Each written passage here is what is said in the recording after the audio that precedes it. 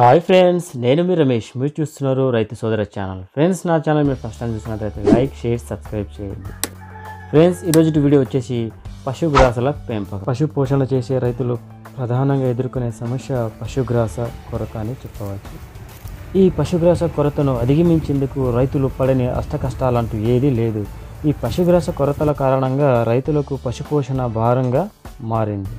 ఇటువంటి తరుణంలో మంచి పోషకాలు కలిగినటువంటి పశుగ్రాసాన్ని అందకలైన పశుగ్రాసాలను అధిక పోషకాలు కలిగినటువంటి పశుగ్రాసాలను ఉత్పత్తి చేస్తూ పశు పోషణ చేసేలో చేసే రైతులకు అందిస్తున్నటువంటి నాదెండ్ల బ్రహ్మయ్య గారి పశు పోషణ చేస్తున్నటువంటి రైతులకు వేరే పనులు పొలం పనులు లాంటి పనులు చూసుకునే ఉండేందుకు విధంగా మరో కొత్త రకం పద్ధతులతో ప్రయోగాత్మకంగా కొత్త రకం పశుగ్రాసాన్ని పరిచయం చేయబోతున్నటువంటి శ్రీనివాస్ రెడ్డి గారి మరియు నాదెండ్ల బ్రహ్మయ్య గారితో ఈరోజు వారితో చర్చించి వారి యొక్క అనుభవాలు వారు వారు ప్రవేశపెట్టినటువంటి ప్రయోగాత్మకంగా నిరూపించబడినటువంటి కొత్త పద్ధతుల గురించి కొత్త పద్ధతి పశుగ్రాస పద్ధతుల గురించి తెలుసుకుందాం.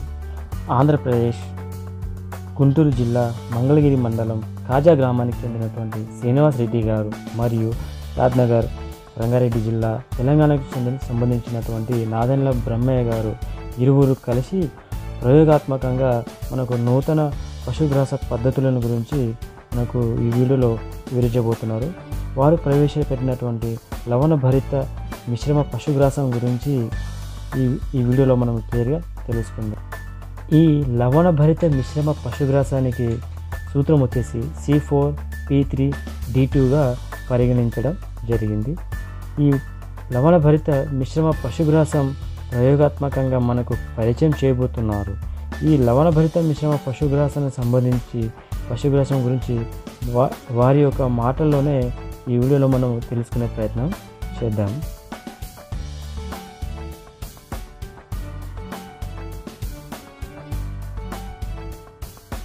హాయ్ ఫ్రెండ్స్ నేను మీ రమేష్ మీరు చూస్తున్నారు రైతు సోదర ఛానల్. ఫ్రెండ్స్ నా ఛానల్ మీరు ఫస్ట్ టైం చూసినట్లయితే సబ్స్క్రైబ్ చేయండి. అలాగే పక్కన ఉన్న గంట సింహాలు నొక్కండి.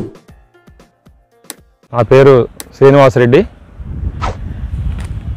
మా విలేజ్ కాజా మంగళగిరి మండలం గుంటూరు జిల్లా. మేము గతంలో వ్యవసాయం చేశాను. ఆ తర్వాత నేషనల్ హైవే మీద దాబా హోటల్ నడిపాము. ఆ తర్వాత సివిల్ కాంట్రాక్టులు చేశాం. ఆ తర్వాత కన్స్ట్రక్షన్ ఫీల్డ్లోకి వచ్చాం. ఇప్పుడు వచ్చేటప్పటికి ఈ అన్ని రకాల మిశ్రమ పశుగ్రాసాన్ని డెవలప్ చేసి పశువులకు అందించాలనేటువంటి ఒక ఆలోచన చేసి దాన్ని ముందుకు తీసుకెళ్ళడం జరుగుతుంది. మొదటగా మేము సూపర్ నేపియర్ ఒకటే బాగా విస్తృతంగా పెద్ద స్థాయిలో చేసి తక్కువ రేటుకి వాళ్ళకి రైతులకు అందించాలనేటువంటి ఒక ఆలోచన చేసి దాన్ని ఒక ముందు పది ఎకరాలు కల్టివేషన్ చేయడం జరిగింది. ఆ తర్వాత ఈ తులసి ర్యాపిడ్ ఫామ్కి సంబంధించి మన నారాయణల బ్రహ్మయ్య గారు హైదరాబాదు షాద్నగర్ ఆయన గారితో మాకు అనేక సంవత్సరాల నుంచి పరిచయం ఉంటాం.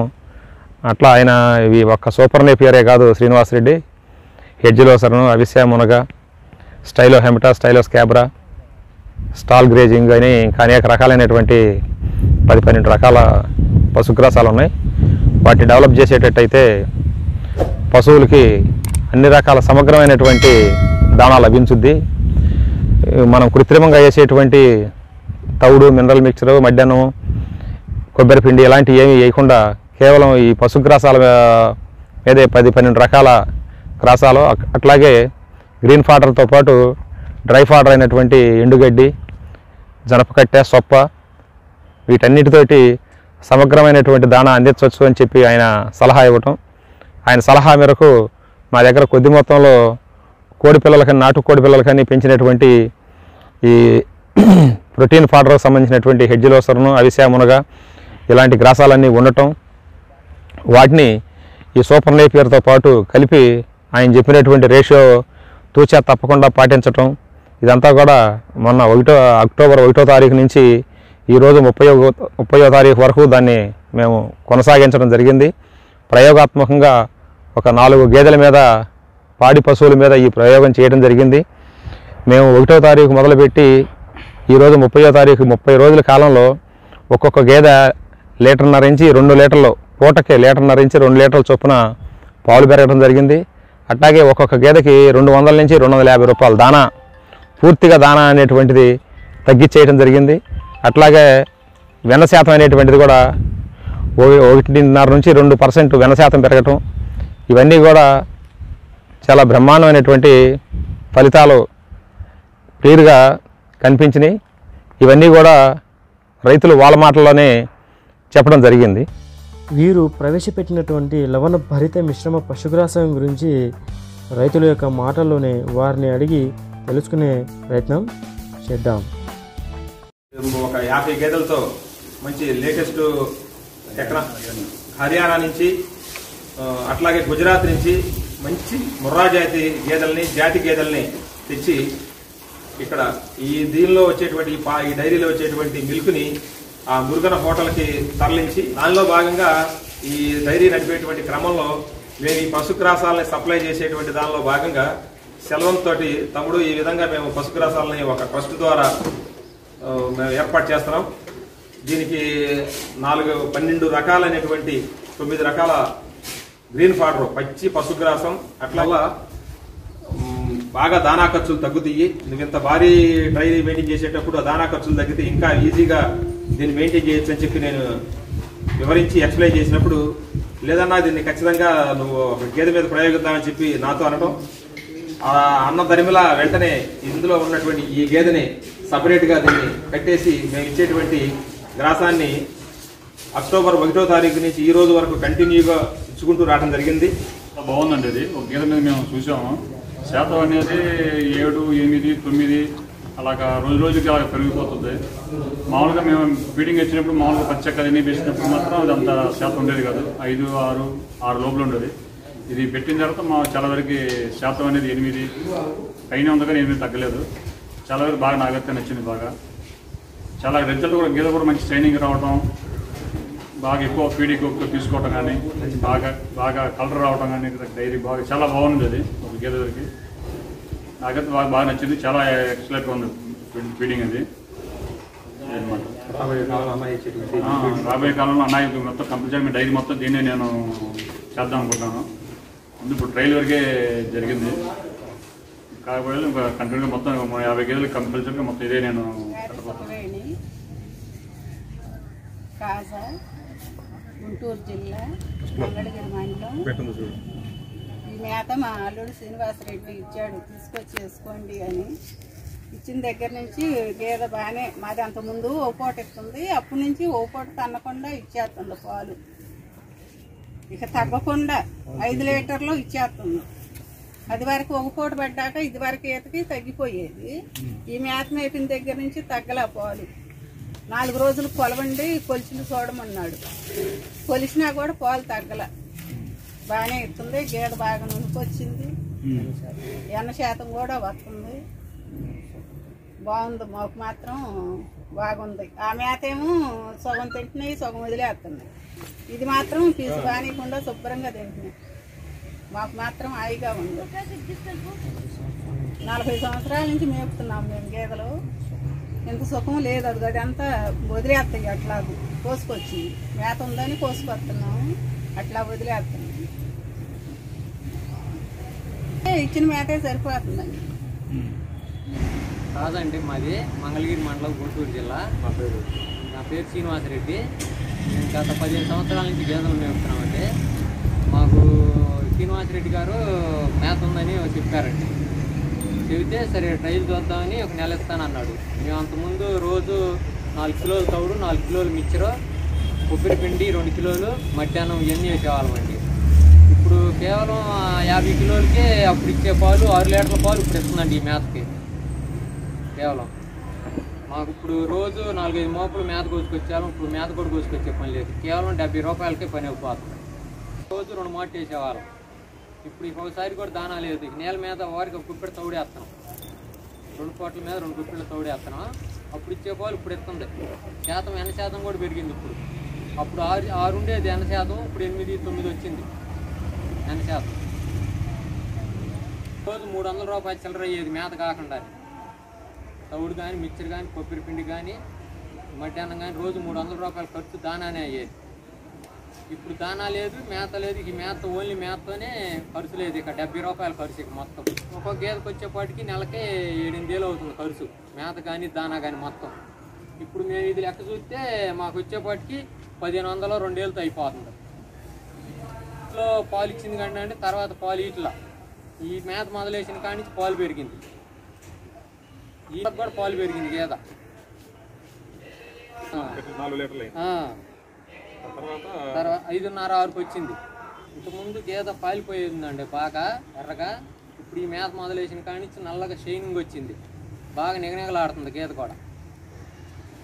బాగా ఉంటుంది బాగా ఇంటికి కూడా ఊడిపోయి బాగా నల్లగా నిగనిగలాడుతుంది గేద. రోజు అరవై కిలోలు మేత తెస్తున్నామండి అరవై కిలోలు రేపు ఉదయం దాకా సరిపోతుంది. మళ్ళీ రేపు ఉదయం మళ్ళీ అరవై కిలోలు తెస్తున్నాం అప్పుడు దాకా ఈ మేత అరవై కిలోలే సరిపోతుంది. ఇంతకుముందు రోజు రెండు మోపులు ఒక్కదానికే రెండు మోపులు మేత ఎండు మేత కూడా మేపాల్సి వచ్చేది. మేత ఎండు మేత? ఈ మధ్యాహ్నం చాలా రకాలు మేపాలం ఇప్పుడు ఒక రకంతోనే ఆ పాలు ఇస్తుంది. గేదె ఎన్న శాతం కూడా పెరిగింది బాగుంది. ఈ మేత వల్ల మాకు ఏరియా పొలం పనులు చూసుకున్నాం. బాగా తేలిగ్గా ఉంది మాకు. ఇది వేసి రెండు మూడు మాటలు మేపి మేము పొలంకి వెళ్ళి సాయంత్రానికి వచ్చి పాలేలకు వచ్చి నీళ్ళు పెట్టుకుంటే మాకు తేలిగ్గా ఉంటుంది. అంతకుముందు అచ్చంగా ఈ గేదెల పని పద్దాకులు పచ్చి మేత తెచ్చుకొని ఎండి మేత తెచ్చుకొని పని జరిపోయేది చెప్పడం జరిగింది.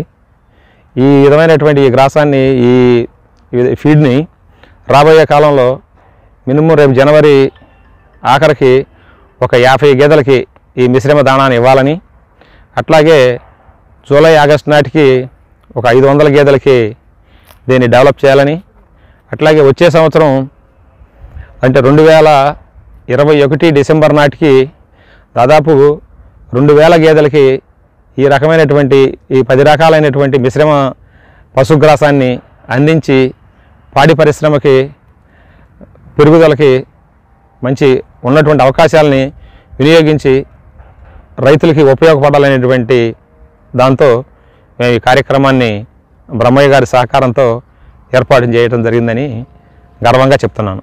రెండు వేల గేదెలకి పశుగ్రాసం సప్లై చేయడం అంటే దాదాపుగా మూడు నుంచి ఐదు వందల ఎకరం పొలం కావాలి. అట్లాగే దానికి అయ్యే ఖర్చు చూసుకుంటే దాదాపు అది ఒక కోటి రూపాయలు అవుద్ది. అది కాకుండా లేటెస్ట్ టెక్నాలజీ అంటే ఈ మేత కటింగ్ చేయటం చాపింగ్ చేయటం ఈ ఇదంతా కూడా లేటెస్ట్ టెక్నాలజీ ఉపయోగించేటట్టయితే షెడ్లు కానీ వెహికల్స్ కానీ టోటల్గా రెండున్నర నుంచి మూడు కోట్ల రూపాయల ప్రాజెక్ట్ ఇది. ఇదంతా కూడా రాబోయేటువంటి ఆరు నెలల నుంచి రెండు సంవత్సరాల లోపు ఈ ప్రాజెక్ట్ అంతా కూడా పూర్తి చేసి రెండు వేల గేదెలకి రెండున్నర మూడు కోట్ల రూపాయల ఎక్విప్మెంట్ తోటి అట్లాగే మూడు వందల నుంచి ఐదు వందల ఎకరాల పొలం తోటి కల్టివేషన్ చేసి ఈ విధమైనటువంటి మంచి ఫలితాలని రైతులకు అందించాలనేటువంటిది మా లక్ష్యం. ఈ లవణభరిత మిశ్రమ పశుగ్రాసం గురించి పశుగ్రాసాల బ్రహ్మ అయినటువంటి నాదెండ్ల బ్రహ్మయ్య గారి వారి యొక్క మాటల ద్వారా మాటల్లోనే మనము తెలుసుకునే ప్రయత్నం చేద్దాం. నాదెండ్ల బ్రహ్మయ్య నేను గత ఏడు సంవత్సరాలుగా శ్రీ తులసి ర్యాబిట్ ఫార్మ్స్ పేరు మీద పశుగ్రాసన ప- పశుగ్రాస విత్తనాలు ఉత్పత్తి చేసి రెండు తెలుగు రాష్ట్రాల్లో రైతాంగానికి అందించడం జరుగుతుంది. పెద్దలు శ్రీనివాసరెడ్డి గారు గుంటూరు జిల్లా కాజా వాస్తవ్యులు. వారు ఒక ఎనిమిది పది నెలల క్రితం ఈ పశుగ్రాసాల గురించి తెలుసుకోవడం కోసం షాద్నగర్ రావటం జరిగింది. వచ్చి నన్ను కలవటం జరిగింది.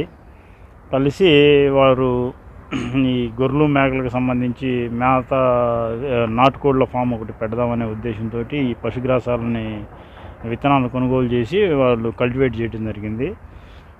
అయితే వారు రకరకాలుగా వారు చాలా రకాల వ్యవసాయంతో పాటు ఈ ఈ పని మీద తిరుగుతున్నప్పుడు గ్రామీణ ప్రాంతాల మీదుగా తిరగటం చేయటం రైతులతోటి మాట్లాడటం వాళ్ళ సాధక బాధకాలు తెలుసుకొని సార్ నేను ఈ గత ఆరు సంవత్సరాలు ఆరు నెలల నుంచి కరోనా మూలంగా నేను చాలా ఏరియా తిరగటం జరిగింది.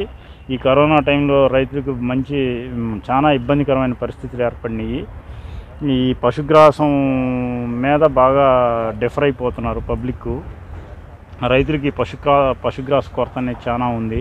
కాబట్టి వాళ్ళకి ఎంతో కొంత సేవ చేయాలనే ఉద్దేశంతో సూపర్ నేపియర్ ఎక్కువ టన్నేజ్ వస్తుందని మీరు ఇంతకుముందు చెప్పారు కాబట్టి ఓ పది ఎకరాలు సూపర్ నేపియర్ కల్టివేట్ చేసి దాన్ని చాపింగ్ చేసి రీజనబుల్ ప్రైస్కి పెద్ద లాభాలు లేకుండా వాటికి కొరత ఆహార కొరతను తగ్గిద్దామనే ఒక మంచి దృక్పథంతో నన్ను అడగటం సలహా అడగటం జరిగింది.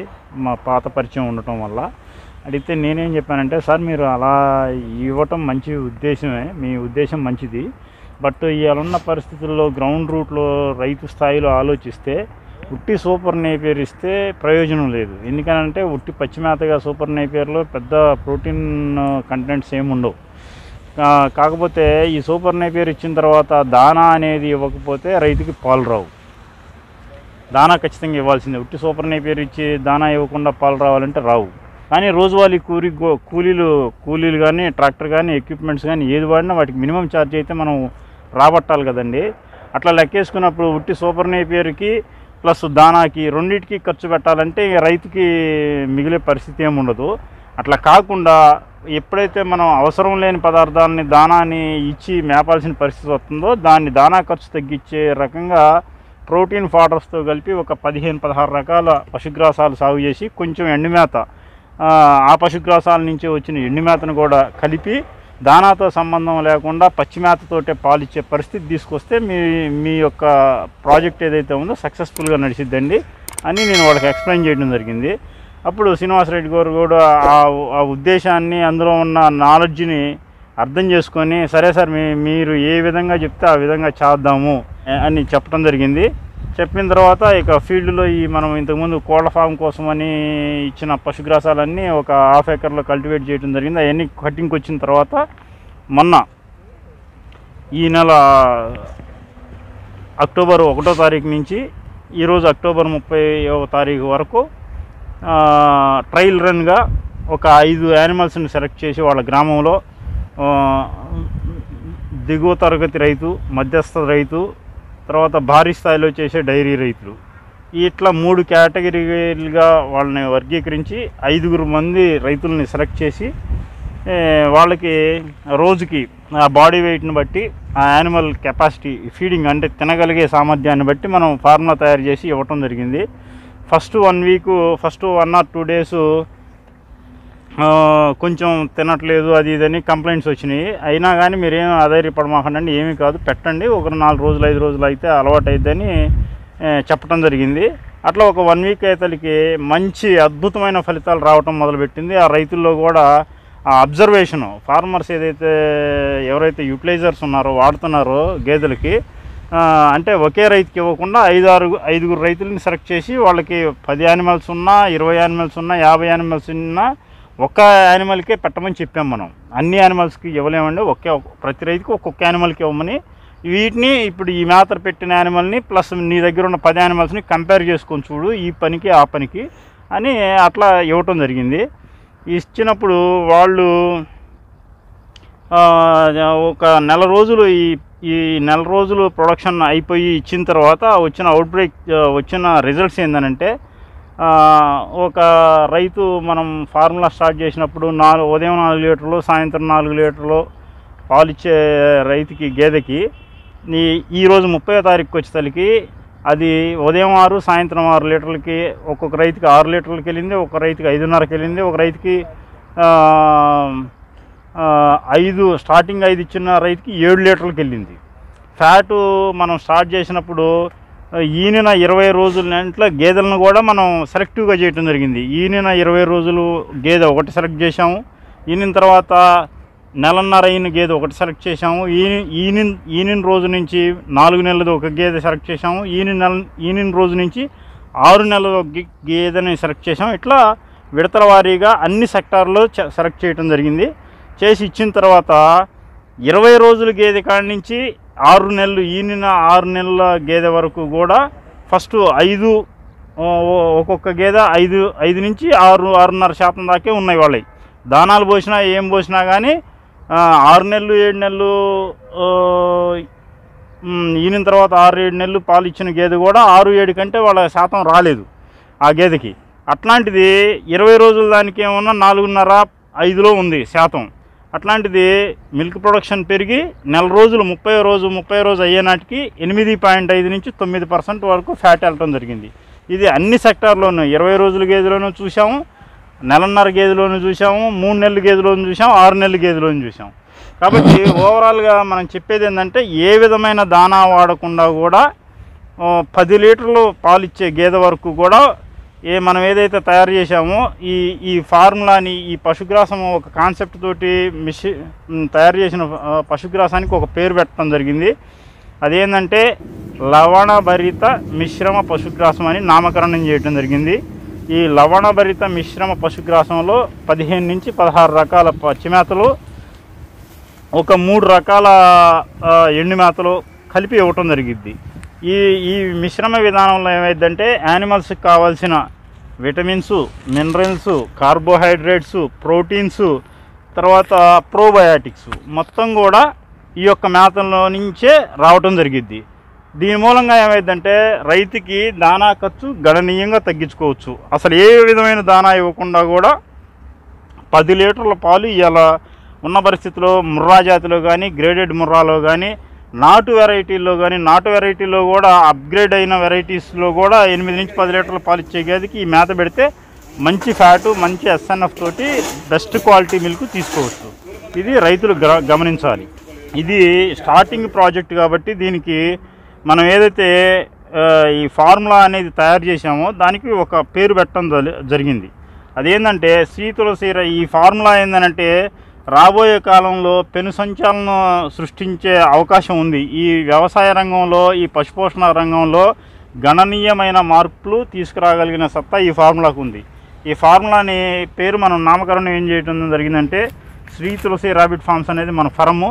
ఈ ఫరం నుంచి నా అంటే నా ఇన్నోవేటివ్ ఆలోచనలతోటి తయారైంది కాబట్టి దీనికి ఒక ఫార్ములాకి నామకరణం చేయటం జరిగింది. సిపిడి ఫోర్ త్రీ టూ ఇది ఫార్ములా అనేది తయారు చేయటం జరిగింది.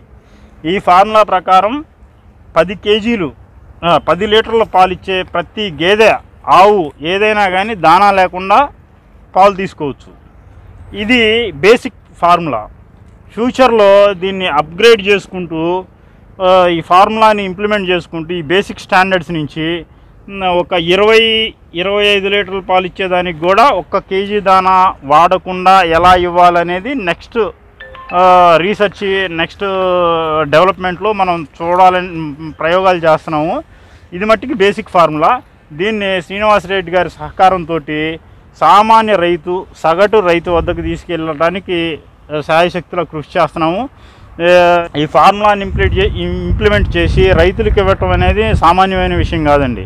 ఎందుకనంటే ఇవాళ లేబర్ ఛార్జ్ అనేది ఏ మారుమూల గ్రామం పోయినా కానీ ఒక ఆడగూతురు కనీసం అంటే రెండు వందల తక్కువ అసలు ఆడగూతురు పనికి వచ్చే పరిస్థితి లేదు. అట్లానే మగ మనిషికి కిన్ ఎంత తక్కువలో తక్కువ అనుకున్నా కానీ మినిమం నాలుగు వందలు. నాలుగు వందలకు తక్కువ ఏ మారుగుమూల గ్రామంలోనూ మగ మనిషికి వాల్యూ అంతకంటే తక్కువ వాల్యూ లేదు. పని కూలి కూలి ఛార్జీ. అట్లాంటి స్థాయిలో సామాన్య రైతులకి వాళ్ళకు వచ్చే పాలతోటి వాళ్ళ షాకిరికి విలువ కట్టుకుంటే వాళ్ళకి మిగులుదలేం కనపట్ల. కాబట్టి ఈ ఫార్ములా ప్రకారం మనం తయారు చేసేది ఏంటంటే పశుగ్రాసాలు అడ్వాన్స్డ్ టెక్నాలజీని ఉపయోగించుకొని కటింగ్ ఎక్విప్మెంట్స్ అవన్నీ డిజైన్ చేయడం జరిగింది. ఆ ఎక్విప్మెంట్స్కి ఛార్జ్ కూడా శ్రీనివాసరెడ్డి గారే బరాయిస్తారు. బరాయించి అన్ని యానిమల్ ఆ మేతలు మొత్తాన్ని కోసుకొచ్చి దాన్ని చాపింగ్ చేసి బ్యాగేజ్ నింపి డైరెక్ట్గా కస్టమర్ అంటే రైతుకి ఇంటి ముంగటికి చేర్చడం అనేది ఈ ప్రాజెక్ట్లో ముఖ్య ఉద్దేశం. దీని మూలంగా ఏమైందనంటే రైతుకి శ్రమ ఖర్చు కొంచెం కంప్లీట్గా శ్రమ అనేది తగ్గిపోయింది ప్రాజెక్టులో. ఎందుకనంటే ఉదయం ఇప్పుడు సపోజ్ మూడు నాలుగు యానిమల్స్ ఉన్న రైతు కూడా ఉదయం పాలు పిండిన కాడి నుంచి ఇంత ఎండు మేత వేసిన కాడి నుంచి కనీసం మధ్యాహ్నం ఒంటి గంట రెండింటి వరకు కూడా మేత కోసుకురావడానికి వాటికి స- సపర్యలు చేయడానికి టైం అంతా పోతుంది. ఆ తర్వాత మధ్యాహ్నం అయిన కాడి నుంచి ఇక మేనేజ్మెంటు సిస్టంలోనే అతని డే యాక్టివిటీ మొత్తం అయిపోతుంది. దీని మూలంగా ఈ ఫార్ములా తయారు చేసి ఈ విధంగా ఫీడ్ ఇవ్వటం వల్ల రైతుకి టైం సేవింగ్ అనేది చాలా వస్తుంది. అంటే ఏముంటుంది మార్నింగ్ పాలు పిండుకున్నాడా ఈ బస్తా తీసుకొచ్చి శ్రీనివాసరెడ్డి గారు ఇచ్చే బస్తా అతని దగ్గరికి చేర్చంలోనే మార్నింగ్ నుంచి ఈవినింగ్ దాకా ఓ రెండు సార్లు మూడు సార్లు అతని టైం షెడ్యూల్ ప్రకారం వేసుకోవటం మళ్ళీ సాయంత్రం పాలు పిండుకోవటం క్లీన్ చేసుకోవటం. దీని మూలంగా ఏమైందనంటే ఇతనికి వ్యవసాయం పని తగ్గటం వల్ల నాలుగు గేదెలు మెయింటైన్ చేసేవాడు సుఖంగా ఎనిమిది గేదెలు మెయింటైన్ చేసుకోవచ్చు. ఇంకొకటి మనం ఈ ఫార్ములాలో వచ్చే బెనిఫిట్స్ రైతుకి మనం గ్రౌండ్ రూట్లో రైతుల దగ్గర ఈ ఫార్ములా ఇచ్చిన తర్వాత వాళ్ళు చెప్పే మాటల్ని మనం క్యాల్కులేట్ చేసి ఒక చిన్న ఎగ్జాంపుల్ అనేది ఒకటి మనం ఇక్కడ క్రియేట్ చేయడం జరిగింది. మీకు ఆ ఎగ్జాంపుల్ చూపిస్తాం. ఇప్పుడు మనము ఇది ఇక్కడ ఏదైతే మనము ఒక ఫార్ములా ప్రకారము రైతుకు జరిగే ఉపయోగం ఏందనేది రైతులతోటి మాట్లాడిన తర్వాత కూలంకషితంగా వాళ్ళతోటి మాట్లాడిన తర్వాత వాళ్ళు చెప్పే విషయాన్ని బట్టి మనం ఇక్కడ ఒక ఒక రఫ్గా సామాన్య రైతుకు అర్థమయ్యేటట్టు ఒక ఫార్ములా అంటే అర్థమయ్యేటట్టు చెప్పడం కోసం ఈ అంకెలు ఇవ్వటం జరిగింది. ఇప్పుడు మనం చెప్పిన రైతుల్లో ఒక్కొక్క రైతు ఎనభై వేల నుంచి లక్ష రూపాయలు లక్ష ఇరవై వేలు దాకా కూడా పది లీటర్లు పాలిచ్చే గేదెను కొనడం జరిగింది. ఒక రైతు ఎనభై వేలకు కొనొచ్చు ఒక రోజు ఒక రైతు లక్షకు కొనొచ్చు ఒక రైతు లక్ష ఇరవై వేలకు కూడా కొన్నాడు. అంటే మనం ఓవరాల్గా గ్రౌండ్ రూట్లో చెప్పింది. అంటే అందు అందుకని మనం నెట్గా ఒక లక్ష రూపాయలు అనేది క్యాలిక్యులేట్ చేయడం జరిగింది. ఒక గేదె పది లీటర్లు పాలిచ్చే గేదెని ఒక లక్ష రూపాయలు రేట్లో కొన్నాడు అని అనుకుంటే ఈ మిశ్రమ పశుగ్రాసం ఇస్తే ఇప్పుడు ఇప్పుడున్న ఖర్చు ఒక ఒక యానిమల్కి అరవై నుంచి అరవై ఐదు కేజీలు ఇస్తున్నాం. ఒక ప్యాకేజీ. ప్యాకేజీ లాగా ఇస్తున్నాం. దానికి ఉరామరిగ్గా ఒక రెండు వందల రూపాయలు ఖర్చు యాడ్ చేస్తున్నాం. అంటే ఒక రోజు లవణభరిత మిశ్రమ పశుగ్రాసం ఇవ్వటానికి రైతుకి శ్రీనివాసరెడ్డి గారు ఈ పశుగ్రాసాలు మేపి చాపింగ్ చేసి రైతు దగ్గరకు చేర్చటం అయ్యే ఖర్చు రెండు వందల రూపాయలు పడుతుంది. అట్లా ఇస్తే కూడా ఒక సంవత్సర కాలంలో రోజుకు రెండు వందల రూపాయల లెక్కన ఇస్తే మూడు వందల అరవై ఐదు రోజులకి డెబ్బై వేలు డెబ్బై మూడు వేల రూపాయలు ఖర్చు రైతుకు కనపడింది పశుగ్రాసం కొనుగోలుకి. అయితే ఈ ఒక లీటర్ పాలు అమ్మకం ధర రైతులు ఇక్కడ యాభై నుంచి ఎనభై రూపాయల వరకు అమ్ముకుంటున్నారు. అంటే సొంతంగా మార్కెట్ చేసుకునే రైతు అరవై అరవై ఐదు డెబ్బై డెబ్బై ఐదు ఎనభై దాకా అమ్ముతున్నాడు. అమ్ముకోలేని రైతు కేంద్రానికి పోస్తే నలభై ఐదు రూపాయల నుంచి యాభై రూపాయలు యాభై రూపాయలకు తక్కువ అసలు ఏ కేంద్రం వాడు కూడా గేదె పాలు పోపించుకోవట్లేదు. మినిమం యాభై రూపాయలు ఏ పర్సంటేజ్ ఫ్యాట్ వచ్చినా యాభై రూపాయలు అయితే కట్టిస్తున్నారు. నలభై ఎనిమిది నుంచి యాభై రూపాయలు కట్టిస్తున్నారు. ఆ బేసిక్ లెక్క అనేది మనం తీసుకోవడం జరిగింది. ఉంటే పది లీటర్ల పాలు ఇచ్చే గేదె ఒక ఈత కాలంలో ఇరవై నాలుగు వందల లీటర్లు ఇస్తుంది అనేది రైతులతోటి డిస్కస్ చెప్పిన తర్వాత చేసిన తర్వాత వాళ్ళు చెప్పిన మాటల ప్రకారం ఇక్కడ క్యాలిక్యులేట్ చేయడం జరిగింది. అట్లా చేస్తే ఇరవై నాలుగు వందలు ఇంటూ యాభై రూపాయలు పర్ లీటర్ లెక్కేసుకుంటే ఒక లక్ష ఇరవై వేల రూపాయలు ఒక సంవత్సరం ఒక ఈత కాలంలో రైతుకి పాల ద్వారా ఆదాయం వస్తుంది. అయితే ఒక గేదె నుంచి వచ్చే పెండ రోజుకు ముప్పై కేజీల వరకు మనం క్యాల్కులేట్ చేయడం జరిగింది. అట్లా ఒక సంవత్సరానికి వస్తే దగ్గర దగ్గర పదకొండు టన్నులు వస్తుంది. ఇక్కడ ఉన్న వాల్యూ ప్రకారం రైతులు చెప్పే మాట ప్రకారము ఒక్కొక్క రైతు వెయ్యి రూపాయలకి ఒక రోజు పది ఒక్కో రైతు పదిహేను వందలు ఒక్కో రైతు రెండు వేలకు కూడా అమ్ముతున్నాడు ఒక్కో రైతు ఆరు వందలకు కూడా అమ్ముతున్నాడు. నెట్గా మనం చే వాళ్ళు రైతులు చెప్పిన మాట ప్రకారం ఒక పదిహేను వందల రూపాయలు ఒక ట్రాక్టర్ ఎరువుకి వేయటం జరిగింది. అట్లా ఎక్కువ తక్కువ అనుకుంటే కూడా ఒక ఐదు ట్రాక్టర్ లెక్కేసుకుంటే కూడా ఏడు వేల ఐదు వందల రూపాయలు పెండ ద్వారా వస్తుంది. పాల ద్వారా ఆదాయం లక్ష ఇరవై వేలు వస్తుంది పెండ ద్వారా ఆదాయం ఏడు వేల ఐదు వందలు వస్తుంది. మా ఓవరాల్గా ఒక లక్ష ఇరవై ఏడు వేల రూపాయలు ఒక ఈత కాలంలో వస్తుంది. అంటే ఈయన రోజు నుంచి పాలు మర్చే లోపల పాలు ఆపేసే లోపల వచ్చే ఆదాయం ఒక లక్ష ఇరవై ఏడు వేల రూపాయలు వస్తుంది. అయితే మేపు ఖర్చు మనం సంవత్సరానికి వేస్తున్నాం. సంవత్సరానికి వేసినప్పుడు డెబ్బై మూడు వేలు వస్తుంది. అంటే ఈ సంవత్సర కాలంలో ఏమైందనంటే ఓవరాల్గా సంవత్సరానికి మేత ఖర్చు చేసాం సంవత్సరానికి డెబ్బై మూడు వేలు ఖర్చు పోతే నికరంగా యాభై నాలుగు వేల ఐదు వందల రూపాయలు మిగిలే అవకాశం ఈ మేత ద్వారా ఉంది. ఈ ఈ స్థాయి ప్రాఫిట్స్ ఇవాళ మనం ఫీల్డ్లో తిరిగిన రైతులు ఎవరు కూడా ఈ స్థాయి ప్రాఫిట్స్ మేము ఇప్పుడు పొందుతున్నామని ఒక్క రైతు కూడా చెప్పలేదు. ఇంత మార్జిన్ అయితే మాకు ఇంతవరకు కనపడతలేదండి. ద్వారా వచ్చే ఆదాయం కాక దూడ మిగిలిపోతుంది మాకు. ఎవ్రీ టూ ఇయర్స్కి లెక్కేసుకుంటే మళ్ళీ ఒక లక్ష లక్షన్నర యాడ్ అవుతుంది అనేది రైతులు వాళ్ళ మాటల ద్వారా చెప్పడం జరిగింది. కాబట్టి ఇంత సక్సెస్ఫుల్గా ఉన్న ఈ ఫార్ములాని రాబోయే కాలంలో శ్రీనివాసరెడ్డి గారి సహకారంతో ఈ సరౌండింగ్లో ఉన్న గ్రామాలకు అందరికీ అందించి వాళ్ళ ఆర్థికాభివృద్ధికి దోహదపడాలని వాళ్ళు మిగిలిన రైతులు కూడా ఈ ఫార్ములా గురించి తెలుసుకొని దీన్ని ఇంప్లిమెంట్ చేసుకునేటట్టు దీన్ని వాడేటట్టు ఫస్ట్ వాడి దాంట్లో ప్రయోజనాలు ఉంటే కొంతలో కొంత ఇంకా ఖర్చు తగ్గించుకోవడానికి ఫ్యూచర్లో ఈ పశుగ్రాసాల మీద అవగాహన పెంచుకొని వాళ్ళు కూడా సొంతంగా కూడా చేసుకోవడానికి అవకాశం ఉంది. కాబట్టి యావన్ మంది రైతాంగానికి ఈ పశుపోషణ చేసే రైతులకి ఈ ఈ యొక్క ప్రయోగ ఫలితాలు ఉపయోగపడాలని నేను కోరుకుంటున్నాను.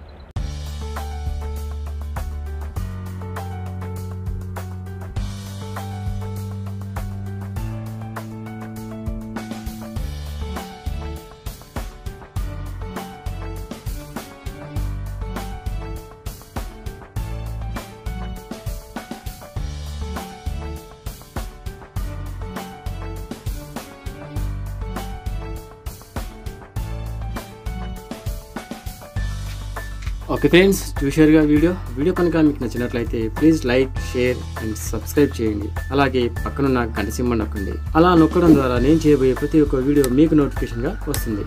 థ్యాంక్స్ ఫర్ వాచింగ్ జై హింద్